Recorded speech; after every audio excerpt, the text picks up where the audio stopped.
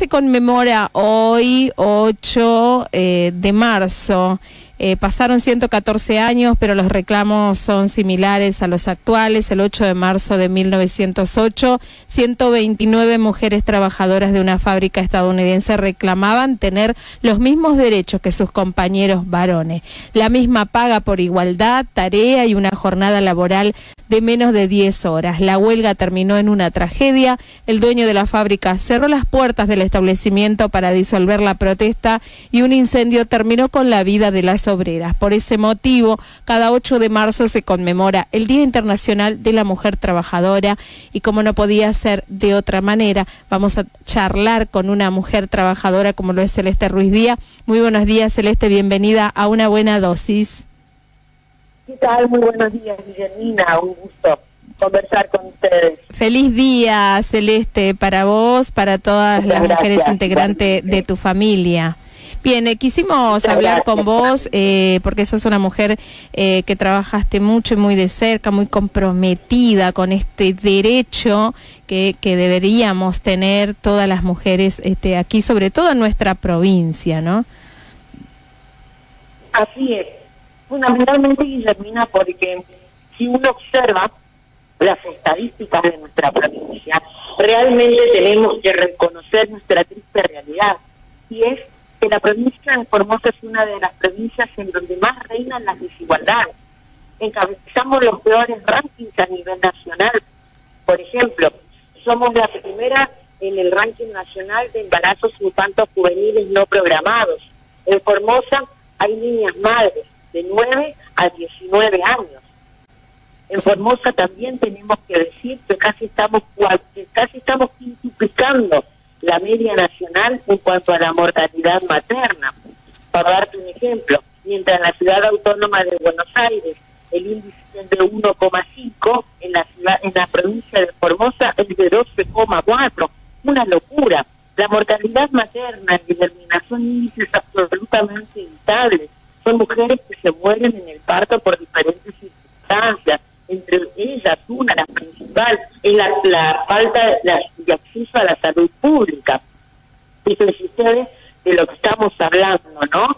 En la, si una mujer eh, tiene un bebé en Formosa, tiene ocho veces más de posibilidades de morirse que si su parto se hace en la ciudad autónoma de Buenos Aires, en Córdoba o en Rosario. Fíjense ustedes el nivel de desigualdad a la que estamos expuestas. Sin embargo, hoy tenemos secretaria de la mujer que convoca un acto donde el orador es el gobernador y ella convoca a las guardianas del modelo formoseño, ¿no? Sí. Las guardianas del modelo formoseño son enemigas de las mujeres, eh, Celeste, discúlpame, te estoy escuchando mal, te estoy escuchando entrecortado. ¿Podrías, a ver, acomodarte en algún lugar? A ver, tal vez sea una, la, señal de internet. A ver, ahí lo intentamos. Aquí me, aquí, me escuchan mejor? Ahí te escucho un poco mejor. Bien, buenísimo. No, decía, ¿no? Que que hoy tenemos que ver cómo la secretaria de la mujer convoca a las mujeres guardianas del modelo este acto encabezado por el gobernador, como lo hacen cada 8 de diciembre, ¿no? Perdón, de marzo. La verdad, eh, yo considero que las mujeres que son defensoras de este modelo son enemigas de las mujeres, porque no se puede defender un régimen que tiene los peores índices de desigualdad en términos de género. También tenemos que hablar de la desigualdad en términos políticos, Guillermina. En Formosa la ley de paridad no es una realidad. ¿Y por qué no es una realidad? Porque tenemos porque tenemos la ley de lema. Fíjense ustedes, por ejemplo, el Consejo Deliberante. En el Consejo Deliberante hay nada más que cuatro mujeres, cuando, cuando tiene 12 miembros. Y esto tiene que ver con la ley de lema, es un sistema electoral poco amigable con la paridad. No se cumple, hay una ley nacional de paridad. Y en Formosa en el Consejo Deliberante no se cumple por el sistema electoral que tenemos. Hay una Secretaría de la Mujer que no funciona, que, que es ineficiente, que está ausente, que no hace trabajo en territorio. Una Secretaria de la Mujer que nada. Hemos visto situaciones, chicos, ustedes que, son de los medios de comunicación, donde le han preguntado acerca de determinados femicidios que cada vez vemos más, lamentablemente y no ha sabido ni responder ni estaba al tanto de la situación.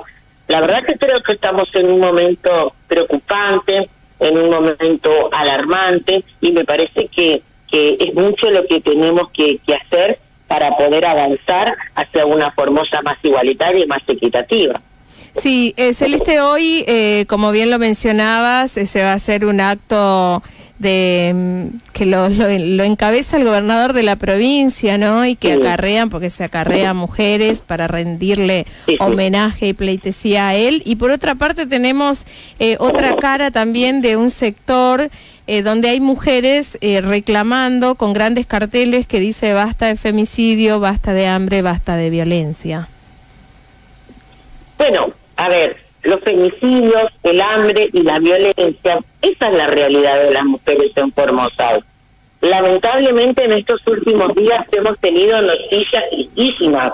Un femicidio en el interior, esta mujer quemada, digamos, estamos viviendo una escalada de, en el índice de violencia. Lo decíamos nosotros al principio también. Eh, cuando tuvimos la pandemia y las épocas de encierro, ¿no es cierto? Esto elevó muchísimo las estadísticas porque las mujeres fueron obligadas a convivir encerradas las 24 horas con su propio agresor, ¿no? Entonces digo, eh, realmente la situación de violencia y los índices han crecido exponencialmente. Pero repito, a ver, aquí en Formosa somos constantemente víctimas de violencia. Yo me pregunto, ¿qué opinará la secretaria de la mujer acerca de todos estos femicidios que se están fundamentalmente? ¿Qué es lo que hace? Porque solamente plantea lo estamos conteniendo, lo estamos conteniendo, pero no hay políticas de prevención. Los femicidios siguen creciendo en la provincia de Formosa, eh, porque aparte se da... En el acoso laboral también, ¿no? ¿Cómo? El acoso laboral también. El acoso laboral es permanente. Eh, y yo me pregunto, ¿no? Porque yo hacía una reflexión conversando inclusive con unas amigas. Me pregunto, era la Secretaría de la Mujer si yo me voy a decir que un dirigente político peronista me acosa en el trabajo? Pregunto, fundamentalmente pregunto porque tenemos un diputado nacional golpeador de mujeres y ella, que es la Secretaria de la Mujer, que se supone nos tiene que defender de los golpeadores, se abrazó a él, hizo campaña para él y le juntó los votos. Entonces, ¿cuál es el compromiso en defensa de las mujeres de este modelo, lo digo entre comillas? Si entre sus funcionarios hay gente que tiene denuncia de género, como el diputado provincial Zarza, que aclaro, me mandó una carta documento para que ratifique esto y lo rectifico. Tiene denuncia por violencia de género. Entonces, los golpeadores que, a ver, esto puede pasar en cualquier partido político, ¿eh? Ningún partido político estamos exentos a tener violentos, a tener golpeadores de mujeres, a tener deudores de cuotas alimentarias en nuestra fila. Esto no es, una problemática transversal. Ahora, lo que no tiene que suceder es que se apañan los golpeadores, que se apañan los violentos, y menos que menos que se los premie y se los haga diputado. Entonces, todas las que van a ir al acto de Castañeda hoy a aplaudir al gobernador, que es el principal hacedor de esta política de desigualdad que padecemos las mujeres en Formosa, todas hicieron campaña para un golpeador de mujeres. Todas votaron a golpeadores de mujeres. Esa no es la Formosa que nosotros queremos. Nosotros queremos que las mujeres nos cuidemos entre las mujeres, que las mujeres defendamos a las mujeres, sino que las mujeres seamos cómplices de los violentos. Bien, eh, la llevo en otro orden. Eh, ayer el gobernador de la provincia hizo un anuncio eh, de aumentos de sueldo, bueno, que otra vez nuevamente deja sobre todo a los docentes por debajo del índice de la pobreza con esos 50, 60 mil pesos eh, de sueldo inicial que el mismo INDEC ha arrojado, ¿no? De que deberían estar ganando un 80 mil pesos para no ser pobre. Eh, hubo expresiones, yo noto siempre que, y me solidarizo con una colega muy trabajadora, María de los Ángeles Delgado, que ella siempre está tratando de hacer cobertura, bueno, en esta, en esta conferencia donde los medios independientes, al menos nosotros no fuimos invitados, se hace una selección de medios de las que pueden entrar o no, y eh, no es la primera vez que noto de que los funcionarios le faltan el respeto. Yo siento como que le faltan el respeto ante la respuesta, porque ella hace una pregunta y todo es como que la atacan primero antes de responder, como, como corrigiendo su trabajo, ¿no? Yo digo que deberían, eh, eh, deberían responder y punto, y, y, los gestos que hace el mismo gobernador de la provincia. Nosotros tenemos el audio por ahí, Miguel, creo, no sé si es muy largo, eh, está en, en, Radio Parque y lo podríamos escuchar, pero Gilden Fran trató en esta conferencia de prensa de Huiro Pajá a los ciudadanos que descreen de su gestión. Estuve consultando eh, algunos, algunos amigos que manejan mejor el idioma guaraní. Eh, yo lo desconozco totalmente porque soy nacida en el oeste formoseño y no he tenido esa influencia, entonces me cuesta mucho más. Y, mm, y esto, estos términos este, eh, refieren como que con esta palabra trató... Em, ¿Se cortó?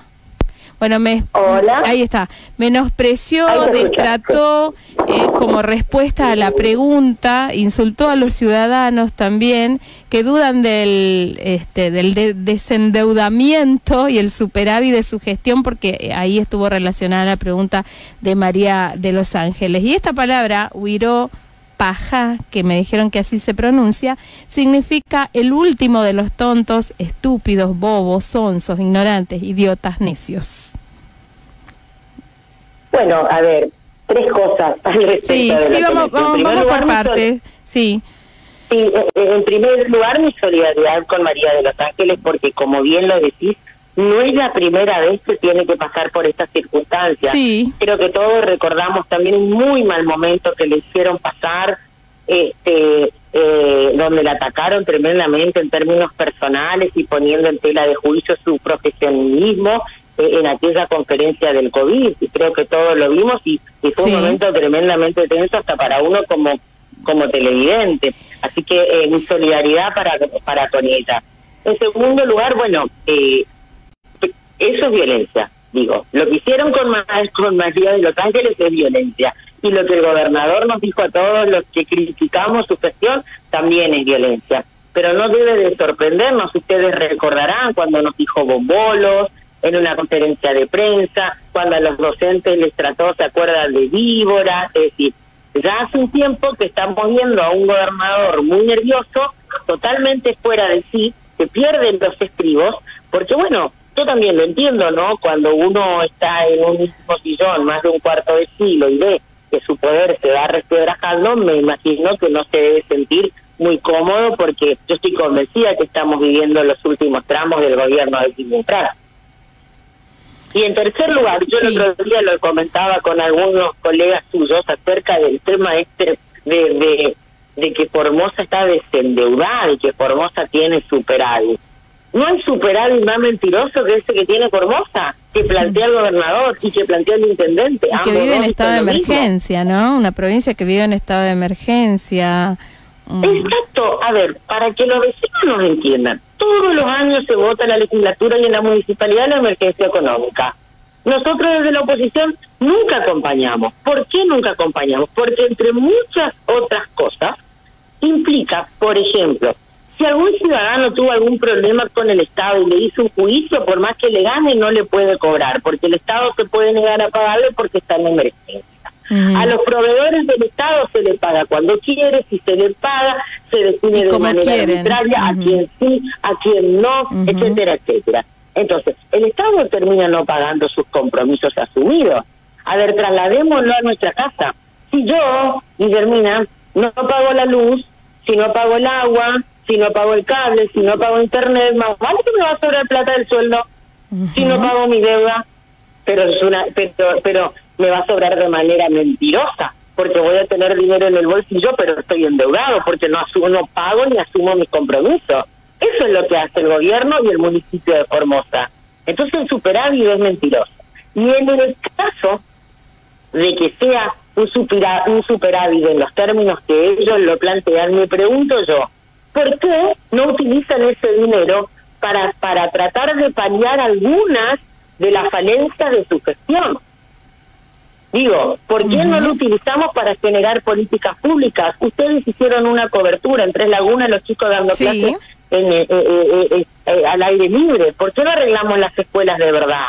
En la pandemia lo hemos visto como a la gente del interior había que trasladar la capital porque no hay ni un tubo de oxígeno. ¿Por qué no invertimos en ese sistema de salud? En la ciudad no voy a andar, no podemos ni circular, ustedes vieron la situación de las calles, vayamos un poquitito a los barrios, el alumbrado público no funciona ninguno, la gente está encerrada, con reja, cae el sol y los barrios se convierten en, en la boca del lobo. ¿Por qué no utilizamos el dinero del superávit en esto? ¿O, para qué sirve el superávit? ¿Lo van a poner en una cuenta bancaria para que genere intereses como si fuera una empresa? El Estado no es una empresa. Así es. El Estado no es una empresa. Bien, Celeste, le invitamos a escuchar el audio, lo compartimos con los oyentes del anuncio del gobernador y, con esto vamos a ir cerrando nuestra notita de hoy. Usted nos habla muy bonitos a las mujeres y que nos dice que nos ama y todas gritamos y se nos eriza la piel y bueno, y todos salimos a, dar eco de lo que usted menciona. Pero usted el primero de marzo... No, no, no, en ah. absoluto, gobernador. Estamos ahí entonces. Sí, en absoluto. Eh, por eso le digo, nosotros le creemos y de hecho somos esas guardianas. No, totalmente. De hecho somos las guardianas que usted menciona y por eso viene la pregunta, ¿no? Porque hay muchos incrédulos, más allá ah, de bueno, pero eso, siempre existe. Existió y van a existir. Y en, guaraní nosotros decimos huilo pajá. Entonces siempre los huilo pajá no van a terminar nunca. Bien. Si no sabe la cosa, vaya y busque en el diccionario de guaraní y va, a encontrar a saber qué quiere decir. Bien. Bueno, entonces viene la pregunta, gobernador. Eh, usted el primero de marzo de este periodo 2022 hablaba de un sostenimiento de durante 20 años de los que es el superávit fiscal en nuestra provincia.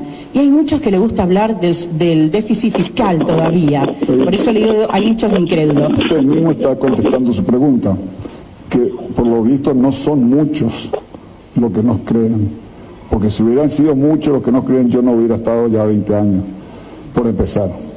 Evidentemente son mucho más los que creen en lo que hacemos y en lo que decimos, fundamentalmente, porque yo inclusive en mi mensaje del primero dije, lo, empezamos solamente teniendo fe y esperanza, y ahora ya tenemos un modelo que se puede mostrar a lo largo y a lo ancho de la provincia. ¿Que nos falta cosa? Claro que nos falta cosa.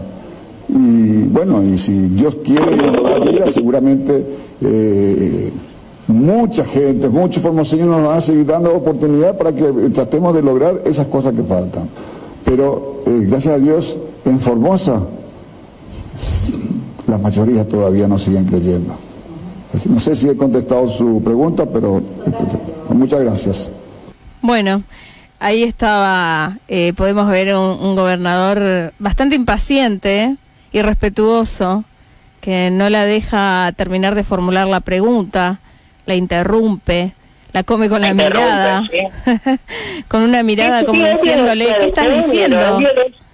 Es violencia de género, Guillermina. Eso es violencia de género, sin lugar a dudas.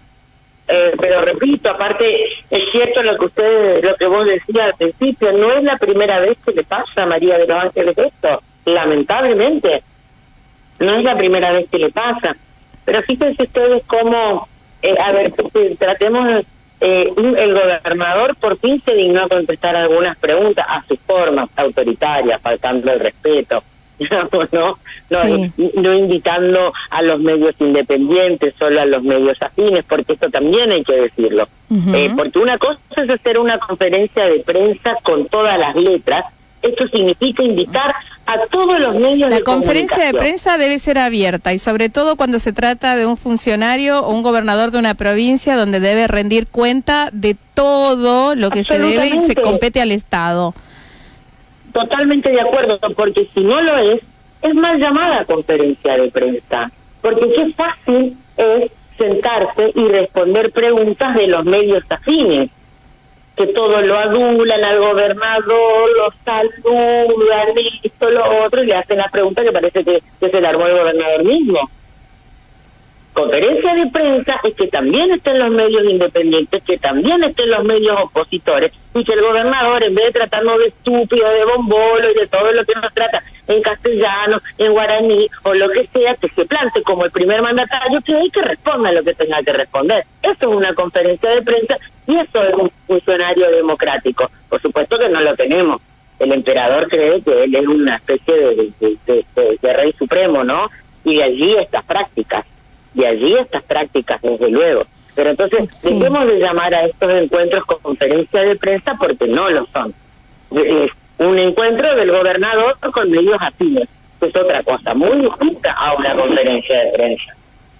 Sí, bueno, eh, finalmente nos trató de Huiropajá, que siempre digo yo, ¿no? Eh, tenemos que comernos cada primero de marzo que se compran hasta traje para sentarnos a mentirnos cifras, a mentirnos números. Así que finalmente reconocen que nos tratan de estúpidos, de bobos, de sonsos, de ignorantes y de idiotas. Bien, eh, muchísimas gracias Celeste, que tengas un lindo día, que termines bien el día hoy, bueno, y todos los días deberían ser nuestros días, el Día de las Mujeres. Bueno, muchas gracias, Guillermina, igualmente para vos y, y para todas las mujeres porgoseñas que nos están escuchando. Muchísimas gracias, hasta la próxima. Gracias, hasta luego. Gracias.